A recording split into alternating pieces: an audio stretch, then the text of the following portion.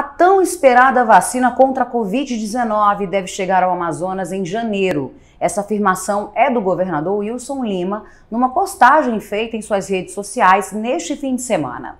Na foto, o governador está ao lado do ministro da Saúde, Eduardo Pazuello, e na legenda, Wilson Lima diz que tomou café com o ministro, que confirmou que as vacinas contra a Covid-19 já estão prontas, em fase de teste e devem chegar ao Amazonas no mês de janeiro. Finalizando, agradeceu ao ministro e ao presidente pela especial atenção ao Estado. Lembrando que o Amazonas foi um dos mais afetados pela pandemia no país e hoje soma 142.382 casos acumulados da doença e mais de 4 mil óbitos. Outras notícias e informações você vê no portal realtime1.com.br.